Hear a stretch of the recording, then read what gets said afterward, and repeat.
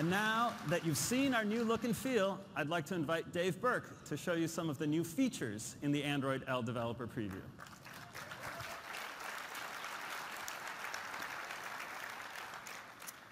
All right, so over the last eight months, our team has been busy cooking up the biggest release in the history of Android. And as Sundar mentioned, we've added over 5,000 new APIs, touching nearly every aspect of the system.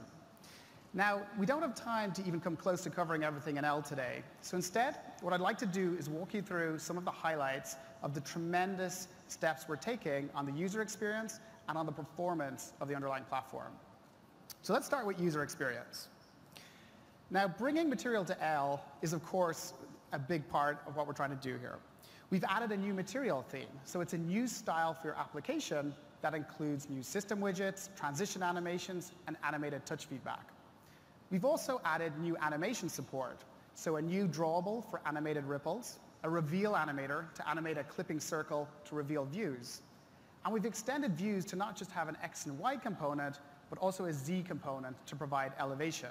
So you can float elements of your UI, and the framework will cast a real-time shadow for you. My favorite feature that we've added in supported material is the ability to customize activity entry and exit animations. You can even include a shared hero element. For example, an image that starts in one activity and animates seamlessly through translation and scaling into another. So let's take a look at this in practice. Let's have a look at an app we're all familiar with, which is the phone dialer. Thanks, Marcelo. Okay, so the first thing you'll notice when you fire up, the phone dialer are those bold material colors and shadows. And you'll see the, the, the ripple touch effect as I touch each of these tabs, and you get a more subtle material touch effect on the recent calls. You'll see that the dialer button has its elevation set, so it's floating above the UI, and as I tap it, you get these really nice, delightful animations.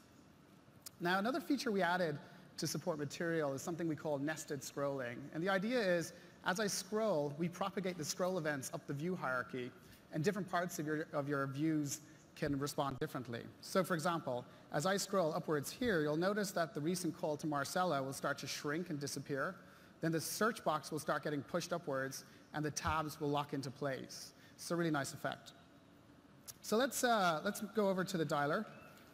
Um, so it turns out my mom's a big fan of material design. I need to go call her up and tell her about how to set elevations on her views. I know she loves that. So let's go start dialing. And you'll see that ripple touch effect again emanating out from the buttons. Then when I go to place a call, you'll see a view animator and will animate into the in-call screen like so.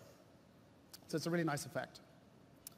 Okay, so that's a quick taster of material in L. And what you're seeing here is really a sneak peek of work in progress. We wanted to give you guys early access so you could start bringing material to your apps. And we also recognize that changing the UI in such a big way will take some time. So we started with the dialer as a showcase. Over the coming summer months, we'll be extending material to all aspects of our apps and the system and the result is going to be a dramatically enhanced, fresh user experience. Okay, so another area where we've improved the user experience on L is around notifications. One of the most frequent reasons we all take our phone out of our pocket every day is to respond to incoming notifications. We all do this dozens and dozens of times a day. So we wanted to streamline the process.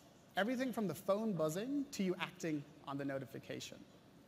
In L, we give you instant interactive access to notifications right from the lock screen. So now you can read, open, and dismiss in seconds. So let's take a look at my device.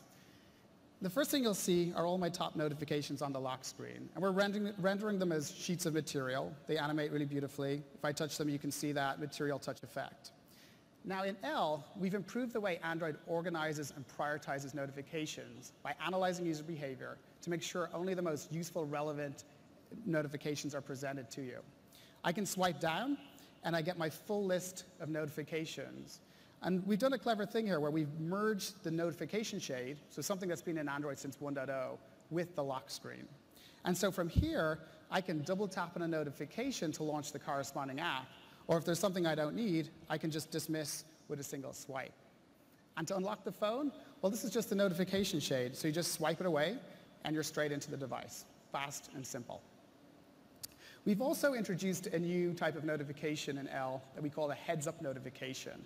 And this can be used to let you know about something urgent without interrupting what you're doing. So let's say I'm playing my new favorite game, which is piano tiles, and I'm going along here, about to get my highest score ever, and then all of a sudden I get a call from Marcelo. So from here I can keep going, or if I want to act on it, I can answer it, or if I'm busy, swipe it away. And then I can go back to my game and get the highest score that I've ever got in public. Yeah, all right. That's actually my worst score I've ever got. Okay, anyway, uh, let's move on. So while we've made the notifications more powerful, if you're one of the approximately 50% of people who has a pin or pattern lock, you waste many minutes a day cumulatively on that fiddly task of entering your pin. So we figured there's got to be a better way. In L, we're introducing a new concept we call personal unlocking. And personal unlocking enables the device to determine if it's in a trusted environment, say in the owner's hand or the, beside the owner on a table. Personal unlocking uses signals such as on the, beside the owner on a table. Personal unlocking uses signals such as locations you des designate, Bluetooth devices that are visible, even your unique voice print. So for example, let's have a look at this device. Thanks, Marcelo. So I currently have a pattern lock on this device. But because I'm wearing a Bluetooth watch, my phone knows it's me who's present. And so it doesn't challenge me with an unlock.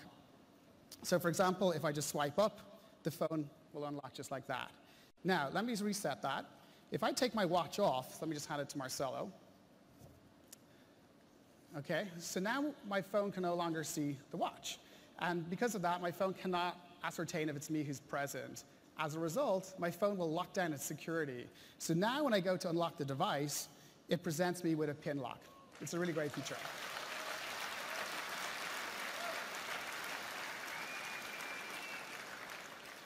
So that's a few of the user experience improvements we've made to support material and notifications. Another area of L where we're significantly improving the user experience is around how we've integrated the mobile web into the platform. So to learn more, let me invite up Avni Shah to the stage.